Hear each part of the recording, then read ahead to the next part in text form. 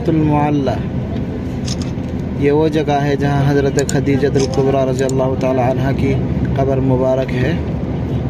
ये देख सकते हैं पूरा। जन्नतुलमुअल्ला